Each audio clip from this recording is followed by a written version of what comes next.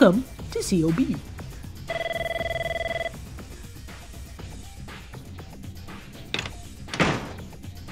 Vicky prefers it when you call the gem Cobb. No, she does not.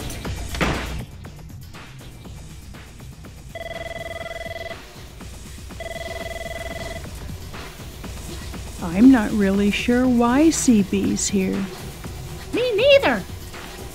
And I've never understood why Vicky is always so accommodating to CB. I've asked, but she won't tell me. My own sister, keeping secrets. It's shameful. Let's piece the clues together. Let's go back to the beginning. The day it all started. In the third grade.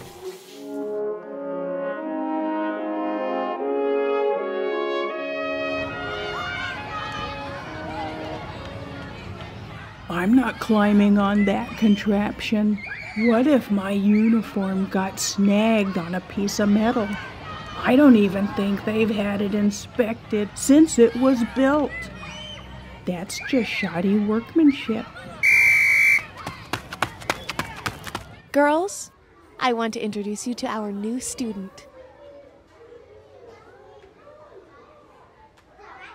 CB. Short for. Canadian bowler. Really? Dance by name. Okay. CB. Please go sit by Cairn. She's very helpful. Ew.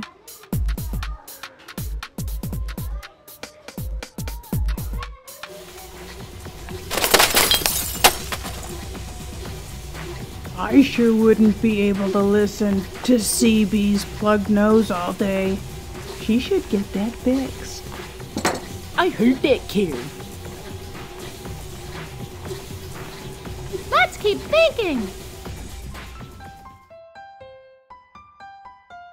Hi, Victoria. Louise, would you like to stand in the corner? No, thank you.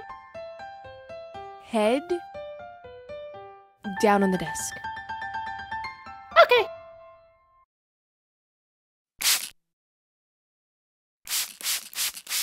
The rubber on that seat sure looks crackly. I wouldn't trust it. Who is this? Another new girl? She's CB's older sister. Her name's Maureen. Hello. My name's Victoria. Hi, Vic. I don't mind you calling me Vic, but I like to be called Victoria. Whatever.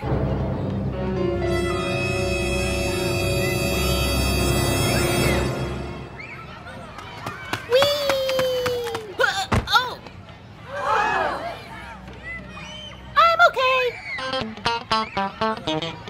Uh,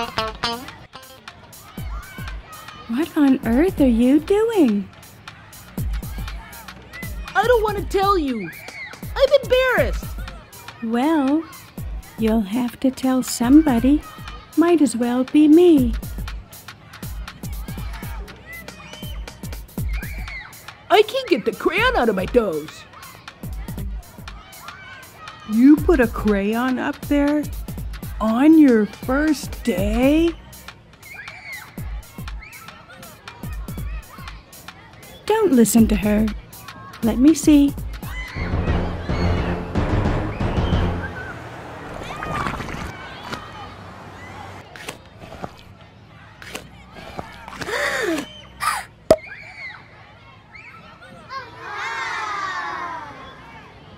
Did she just do that?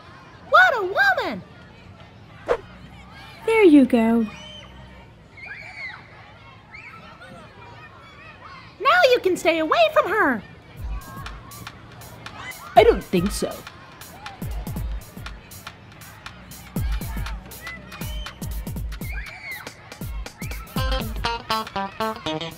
CB, Make sure you thoroughly dust and vacuum the reception area before you leave. Will do, Capitan. And while you're on the way, make sure you turn up the music really loud. Cairn just loves that. Oh no, she does not. Oh my gosh, now I've got it. It's all so clear. What? Vicky's fun and nice. I could have told you that. And you will never speak of this again. Agreed? What about during the holidays? Nope. Oh. She must really mean it. I'm gonna be closing the gym tonight with Victoria. Just the two of us. Just let her say what she wants. It's all she's got.